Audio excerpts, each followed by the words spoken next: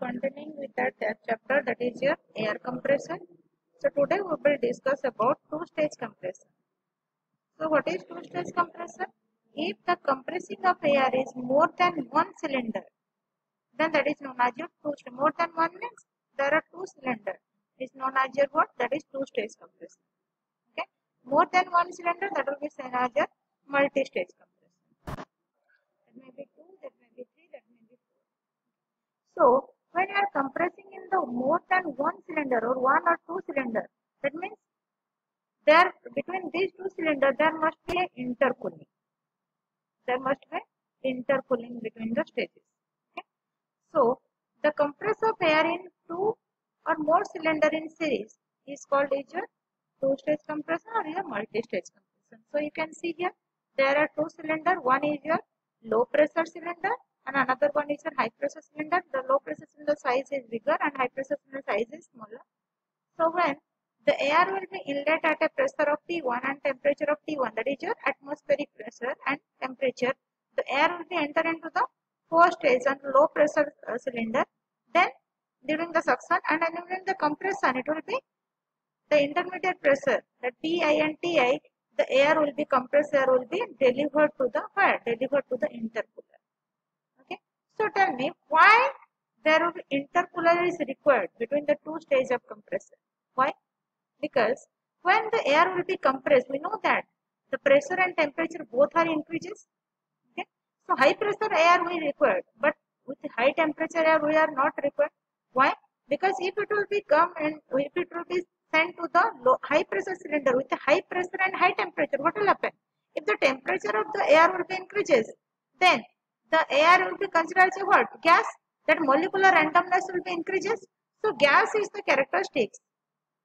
Is the characteristic to is want to expand. So when it will be you want to expand, but you want to what? You want to compress this one. So when it will be expand and you want to move the piston upward. So more work will be required to compress this high pressure, high temperature gas.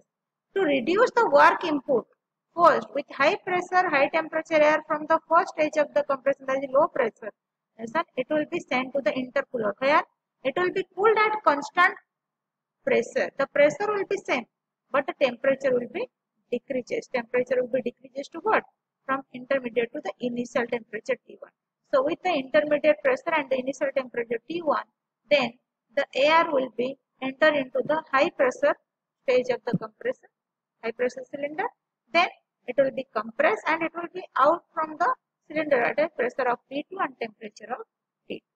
Yeah. So that is that was discussed. So if I draw discuss this one, I draw the PV diagram. Then 4 to 1 what? That will be suction in the low pressure cylinder. You know that here also we are considering the clearance volume. Here also we are considering what? We are considering the clearance volume. This one is your what? This one is your top dead center can say this one is your top dead center TDC. This one is your bottom dead center. This one is your BDC. So you better you know that previously we were discussing about this is what this is your clearance volume. This is what this is your clearance volume. So 4 to 1 that is your suction, 1 to 2 that is compression, 2 to 3 that is delivery and 3 to 4 that is your what? That is your 3 to 4 that is your what? That is your expansion. So here 8 to 5 that is your what? 8 to 5 is your suction in the which stage? Suction in the high pressure stage and 5 to 6 compression, 6 to 7 uh, that is your delivery and 7 to 8 that is your expansion. So here.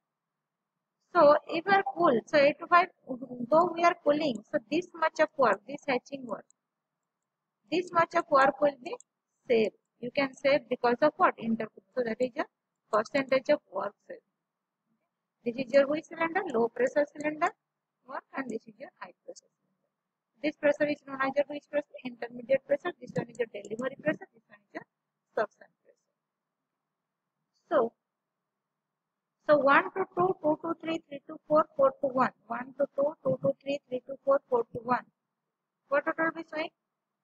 That will be the first stage of compression. So air is discharged from the first stage of compressor at an intermediate pressure of P2 and temperature T2 related to inlet pressure P1 and temperature T1. So T2 by T1 is equal to, we can write the P2 by P1 to the power 1 by n. In the second stage of compression, the cycle is your what? Cycle?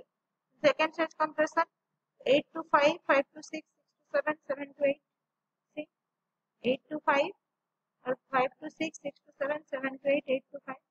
And the line 1 to 9 as what? 1 to 9.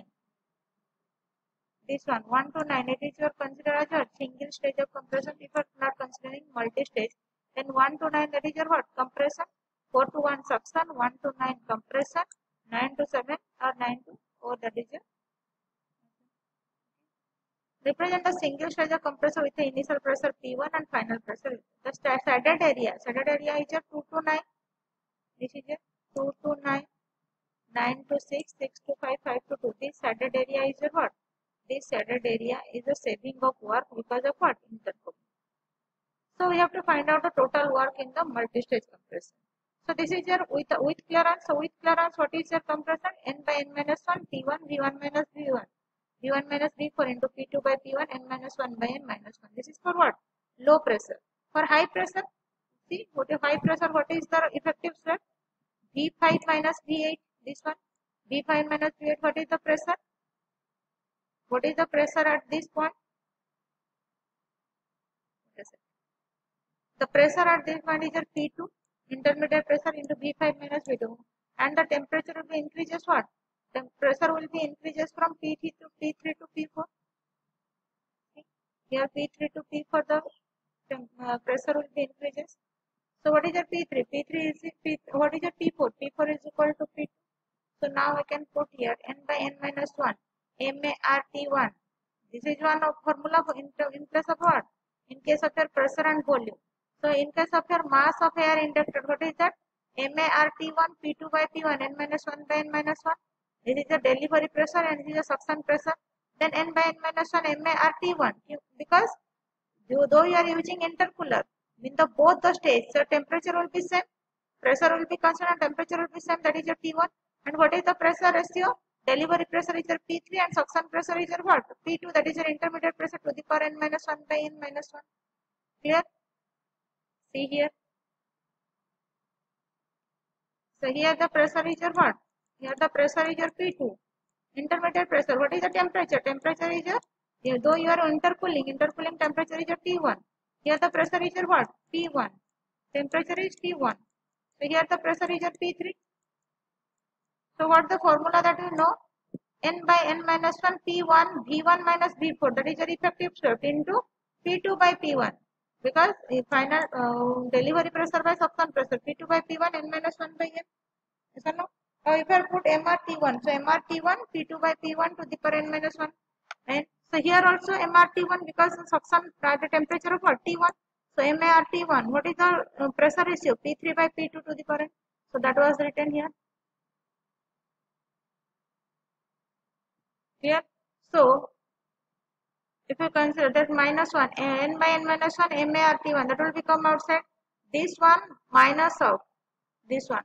So, minus of minus of 1 क्या हो जाएगा? Minus, that is will be minus 2. So, n by n minus 1, MART1 into P2 by P1 n minus 1 by n plus P3 by P2 to the power n by n minus 1 minus of 2. That is what? That is the work input to the multi-stage compression. So P3 by P2 is your pressure ratio of which cylinder? High pressure cylinder. P2 by P1 is your in the low pressure cylinder. So this is the work input formula for the what? Two-stage compression. Okay.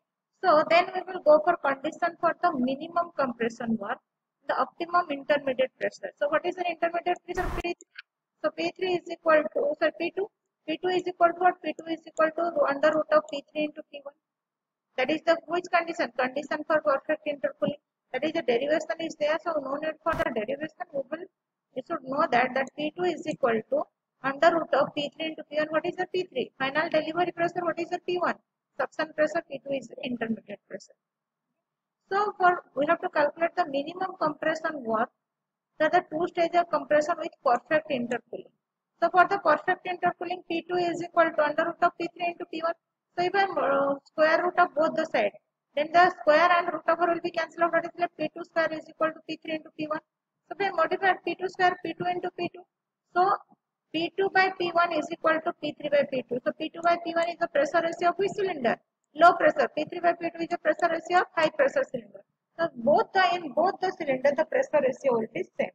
So if we put in this equation, previous equation, this equation P2 by P1 to the power n minus 1 by n plus P3 by P2 to the power n minus 1 by n minus of 2. Then what will happen? In place of your P3 by P2, what we can put? P2 by P1. can put P2 by P1. So now what the equation become? So P2 by P1 to the power n minus 1 by n plus P2 by P1 to the power n minus 1. So 2 into P2 by P1 to the power n minus 1. So if we will be taking 2 will be common, then what is left? 2 into n by n minus 1 m dot a r p1 into p2 by p1 to the power n minus 1 by n minus 1. So 2 into power required in the one stage will be the power required in the which stage? Power required in the two stage. Here, this is the formula for the power required. So m dot a. m dot means mass flow rate is there. So this is your what? This is not the work input. That must be power. If m a is there, mass of air, then it will be your work. So this is what the work input to the compressor in the two-stage compressor. Then we will go for free air delivery. So basically when we are going to discuss the, we are discussing terminology. At that time we are discuss what is free air delivery FAD. That is the volume of air delivered by the compressor under compressor intake condition. What is the compressor intake condition? That normal atmospheric pressure and temperature. Okay.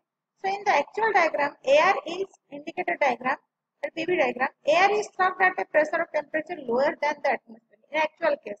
But theoretically, we consider in the atmospheric pressure and temperature, the air will be entered into the So, if we have to find out the what is the volume, uh, the what is the volume of air by maybe difference between the mass of putting conversation and the mass of principle. So, we know that how to calculate this, uh, what is the volume of your free air delivery if you have to calculate, then you have to go PV by T is equal to constant. We can, this is not what? This is your general gas equation. What is your general gas equation? PV by T is equal to constant. PV by T is equal to constant. Okay, no? So if I put here, the, for, for your free air delivery, PF, VF by TF is equal to, what is the initial pressure? P1. What is the volume? Effective load, V1 minus P, V1 minus V4. And the, what is the initial volume? What is PF? Ambient pressure. What is PF? Free air delivery in meter cube per minute. And what is your TF? Ambient temperature P1, suction pressure V1 minus V4 is your effective pressure and T1 is the temperature at the inlet. So from that you have to calculate PF. So you know that from the general gas equation, air is act, uh, act as a what? Ideal gas. So you can put the general gas equation. So considering the free air delivery and inlet condition, this is the equation that you got from where BF will be calculated. All.